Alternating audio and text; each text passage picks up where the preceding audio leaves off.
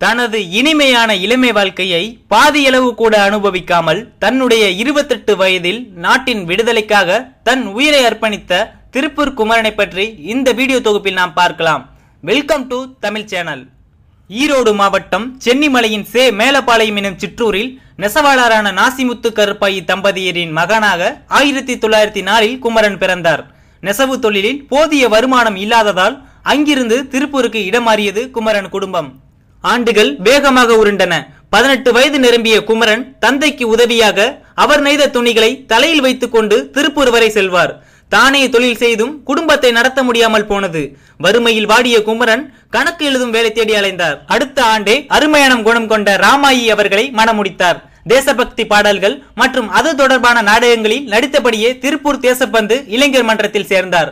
அப்போதுதான் பிரிட்டிஷ் அரசாங்க போலீசாரால் கவனிக்கும் பட்டியலில் குமரன் வைக்கப்பட்டார்.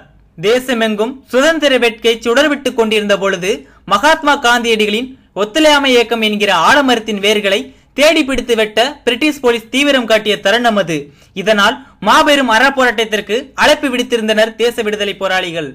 இந்தியா முழுவதும் பலர் கைதாகி கொண்டிருந்தனர். திருப்பூரில் தலைமை தாங்கி நடத்தியது பி. டி. ஆசரும் அவரது மனைவி பத்மாவதியும் தான் இவர்கள் முன் வருவார்கள் என்று முன்பே தெரிந்த பிரிட்டிஷ் போலீஸ் அவர்களை கைது செய்தது.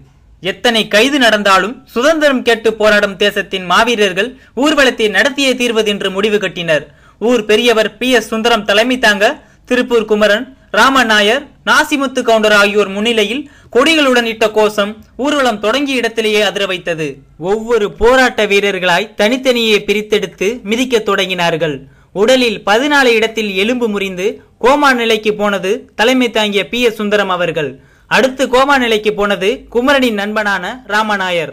அடுத்தடுத்து ஒவ்வொருவராய் சுருண்டு விழ ஒருவரின் கையில் இருந்த கொடி மட்டும் தரையை தொடாமல் வானம் பார்த்தபடியே பட்டோலி வீசியது. அந்த கொடிதான் நம் தேசிய கொடி. வந்தே மாதரம் என்று விடாமல் ஒலித்த குரலிலும் அதை பிடித்திருந்த விரல்களிலும் பிடிக்கும் உறுதியை கொடுத்திருந்த இதயத்திலும் மட்டுமே ஓரளவு ஒட்டி கொண்டிருந்தது உயிர். அந்த கொடியை பிடித்திருந்த விரல்களை கொடியிலிருந்து பிரிக்க முடியாமல் திணறியது போலீஸ். இரத்த குளியலில் கிடந்த அனைவரையும் மருத்துவமனைக்கு கொண்டு போகப்பட்டனர். அங்கே தீவிர சிகிச்சையில் இருந்தது இருவர். ஒன்று ராமநாயர் மற்றொருவர் குமரன். மறுநாள் ராமநாயர் மட்டும் கண் விழித்தார். குமரன் கண் விழிக்கவே இல்லை. குமரன் சிகிச்சை பலனின்றி இறந்தார். மற்றவர்கள் மீது போலீஸ் சொன்னதை மீறி பெருங்கலவரம் ஏற்படுத்தும் விதமாக கல்வீசி கொலை முயற்சியில் ஈடுபட்டதாக வழக்கு பதிவு செய்யப்பட்டுள்ளது. சிகிச்சை முடிந்ததும் அனைவரும் கைது செய்யப்பட்டனர். மனமுவந்து உயிர் கொடுத்த மானமுள்ள வீரர்கள். மட்டில்லாத துன்பமுற்று நட்டு வைத்த கொடியது. தனமிழந்து கணமிழந்து தாழ்ந்து போக நேரினும் தாய்மானமான இந்த கொடியை என்றும் தாங்குவோம் என்று நாமக்கல் கவிஞர் எழுதியுள்ளார்.